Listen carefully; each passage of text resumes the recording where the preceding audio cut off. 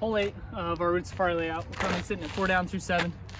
Disc on the last hole was a Doomsday Wasteland. Um, that has been the go-to mid-range in my bag for most of this year. Flies super nice.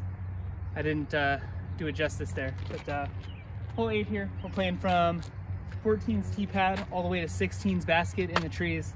16's in the short position. Um, makes this one probably about a 650 foot par four, maybe a little bit longer.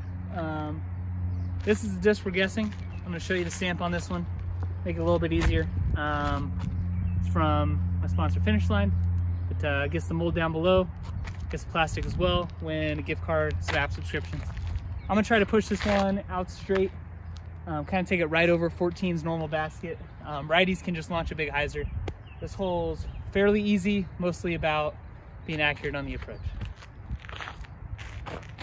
And not going in the creek off to the right.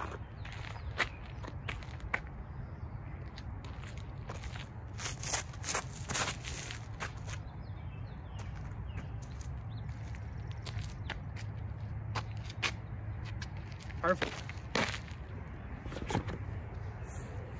All right, couldn't have thrown the drive too much better than that. Um, probably still about 250, maybe a little bit more out. We'll go with uh, Firebird because it's early in the morning. Not a Firebird, excuse me. I don't think I'm gonna throw this one on another hole. Finish line torque. Um, I'm gonna flick this one out to the right, hopefully sneak in. We're not going to the first basket in the sun. We're going to the second one behind it in the shade.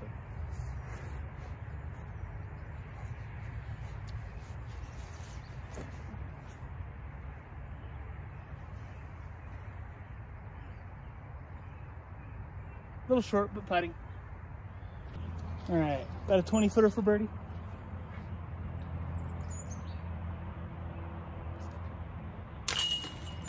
Five down through eight. As a reminder, this is the disc we're guessing that I threw off the tee. Leaves a mold plastic down below. Win a $5 disc store gift card and a subscription to all of my apps. Um, we've got two holes left. We'll see you on hole nine.